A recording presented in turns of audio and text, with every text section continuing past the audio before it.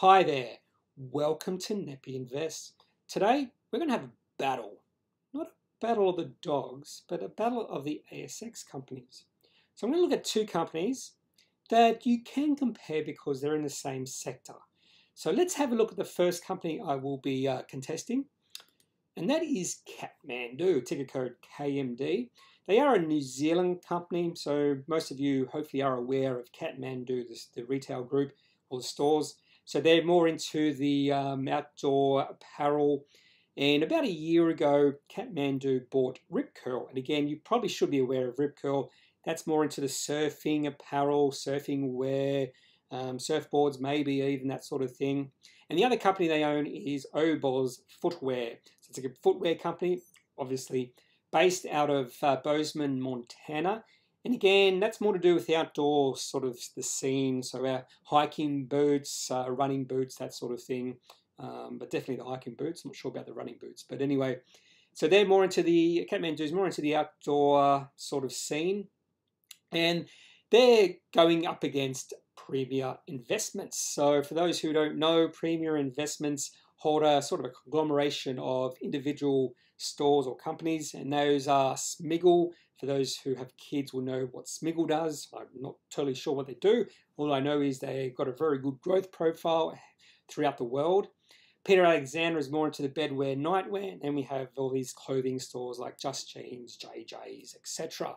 So a good, um, good assortment of uh, companies there that uh, Premier Investments. They also have a holding in Breville Group, and they also have a holding in Myer, even though Solomon Lew, the chairman of uh, PMV, thinks uh, Myer Centre is going bankrupt. Um, I don't know why you hold if you're thinking that. But anyway, let's get into the numbers. So I'm going to look at the numbers and then getting some technicals.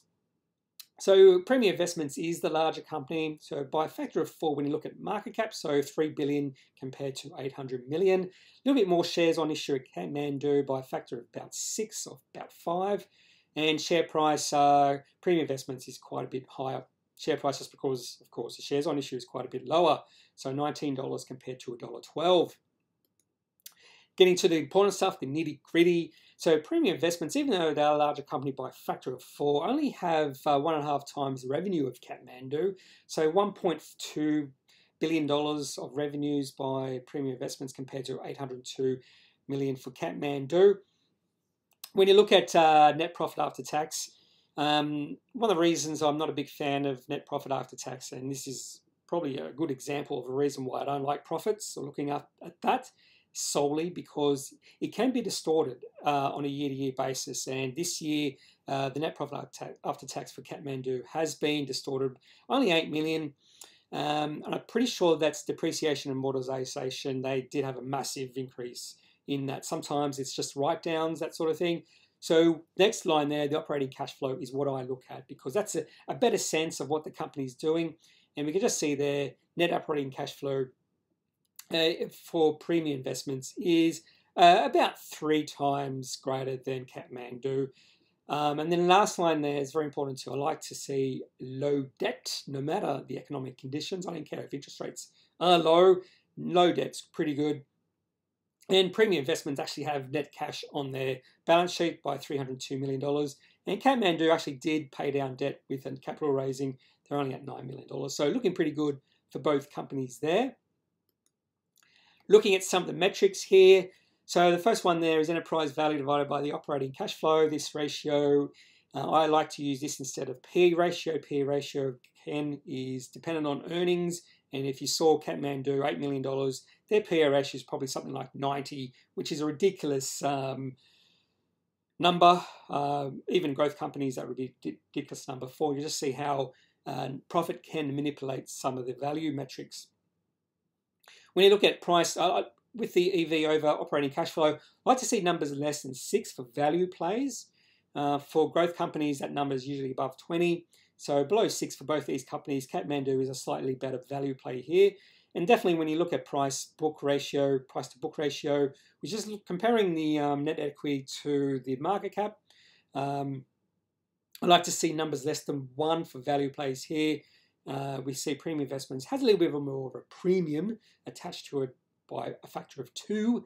And the operating cash flow margin here is just how well a company can take their revenue and um, transform that into operating cash flow. These numbers are a little bit inflated, I think, due to COVID 19 and some of the stimulus um, coming forward. So these numbers are a little bit higher. So it looks pretty good, but 39% compared to 22%. So Premier Investments has a more efficient way of converting their revenue into cash flow. That's what it says. Now, online sales is the future.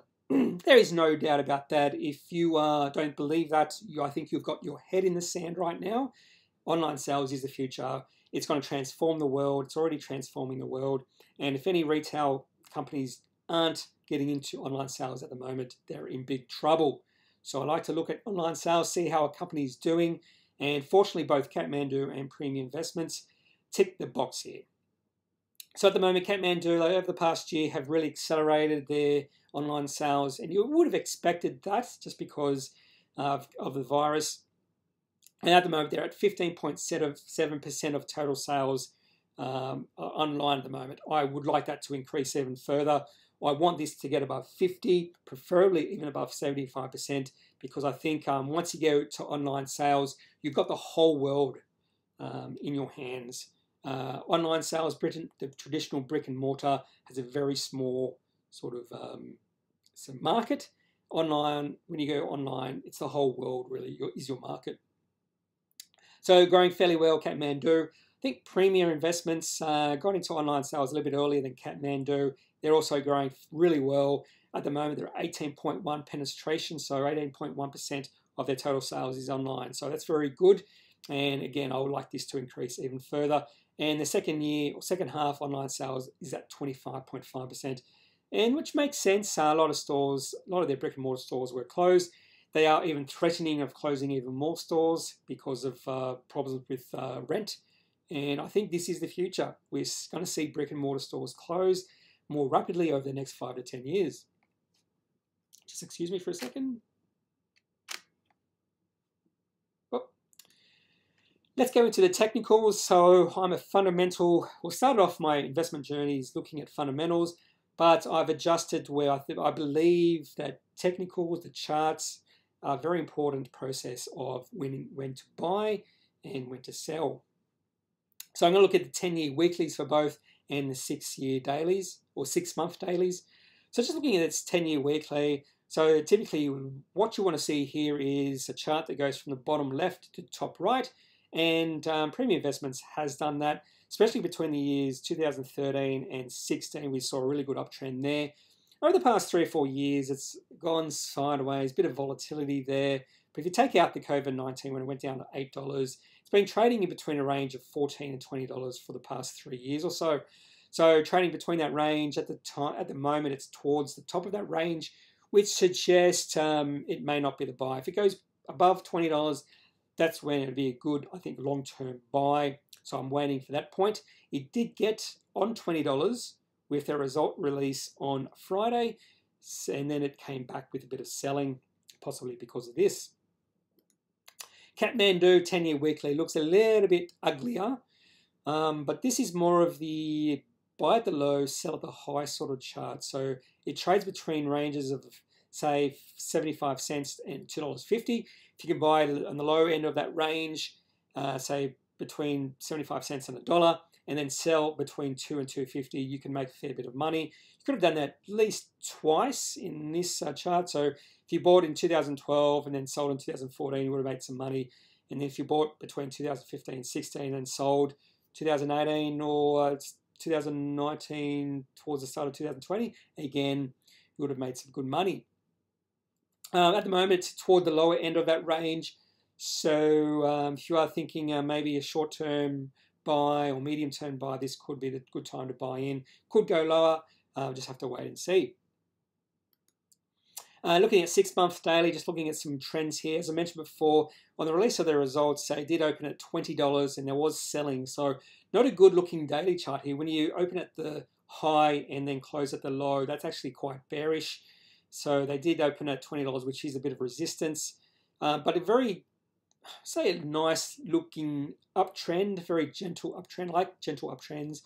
moving averages all going up. But we'd like to, I'd like to see what happens over the next few weeks because there was a bit of selling with the results. Uh, Kathmandu, we are seeing a bit of convergence of the moving averages. That's one thing I look for. But it's been trading between $1 and $1.20 for about three to four months. So if you just sold it, a, bought it a dollar, sold a dollar twenty, you would have actually done a pretty good over the past uh, three or four months. So it did sell back uh, from a dollar twenty about uh, start of this week, and I thought maybe with the release, release of their results, it could have gone back towards one. But there was a bit of buying for those results. So even though they did only have uh, net profit after tax of eight million, I thought that could have forced some of the more amateur um, investors selling, running scared. I definitely did see that in some of the social media. Uh, people just focused on that 8 million running scared. This is a sell. Are they going to get to 80 cents? Oh, this is horrible. Uh, but we saw that over the last few days. Uh, there wasn't that that number wasn't really um, induced the market selling, we'll say. So um, if this goes above a dollar twenty, that would be bullish. If it goes below a dollar, that would be bearish at the moment. I am not thinking of buying into Kathmandu unless uh, it goes above a dollar twenty for the short term. This would be a short to medium term buy if I do buy in. So the results. So I think uh, Premium Investments has the better fundamentals. Um, one thing is they do have a holding of Myer, which is a sort of a negative, but they also have a holding in Breville. Breville Group, I think most of you should know who Breville Group are. Um, I actually do hold Breville Group. Um, I'm a very big fan of Breville Group. I think they have a very promising future ahead. And because Premium Investments has a holding in that, I sort of, you know, um, that's a bit of a tick.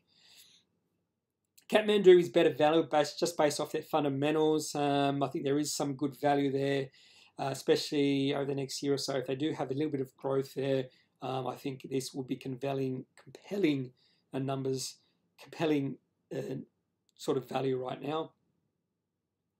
Premium Investments has moved a bit further into online sales, but they both get the tick box here. So they're both getting into online sales, which is good to see. Uh, Kathmandu is more interesting on the short term just because it's trading between that dollar dollar twenty range, and if it goes above the dollar twenty, I would buy. Uh, premium investments, uh, I think if I do buy, that'd be more of a long term play, looking at the long term, five to ten years, um, because I think uh, there is potential for more long term growth with premium investments. And the reason I say that is uh, Kathmandu acquired Rip Curl. Uh, I'm not the biggest fan of acquisitions just because a lot of times acquisitions don't go well. In fact, research has shown acquisitions tend to be value destroying for uh, shareholders. Uh, hello, Slater and Gordon, good acquisition that was. So um, when a big company typically buys um, another company, it tends to be value destroying for, for shareholders. Um, it's not true for small companies, so you could say Kathmandu is a smaller company, but um, Rip Curl is a fairly big um, company in itself, so I'd like to see how that plays out in the end if I was buying long term. So Kathmandu would be more of a short term buy, just based off that acquisition. The state of the economy going forward, uh, a lot of uncertainties about how we're going to play out over the next few years with the state of the economy. Before COVID 19, retail was quite sluggish. And there is a chance once we get out of this COVID 19, retail sales will go back to being quite sluggish uh, just because we're going to have higher debt. Um, more people are going to be in debt. Um, you could even say, with the reduced lending standards announced yesterday by Frydenberg, we're going to see households get further into debt, which would be a bit of a burden onto retail sales. So there's that possibility too. Solomon Lew, I'm not sure if he's a negative or positive for PMV. For those who don't know who Solomon Lew is, you might have to uh, open your eyes because he's always seems to be in the news. He likes he's very outspoken about things, very anti Myer. He seems like, but even though they hold Myer, but he's the chairman of Premium Investments, and he's always in the news, always in the news. Very negative against Myer. That's all I will say. Not sure if that's a negative or positive. Some of the things he say I agree with. Some of the things I say I think he should shut his mouth.